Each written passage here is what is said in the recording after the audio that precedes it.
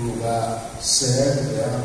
Nós tivemos uma situação bem parecida com essa na linha 6, que desde 1973 o produtor clamava para que a, a estrada voltasse no lugar dela. E como a Vossa Excelência disse, passou o mandato, passou o mandato, político enganando e ninguém fez. E agora essa administração está fazendo a diferença e atendendo principalmente os nossos produtores rurais. Obrigado, presidente.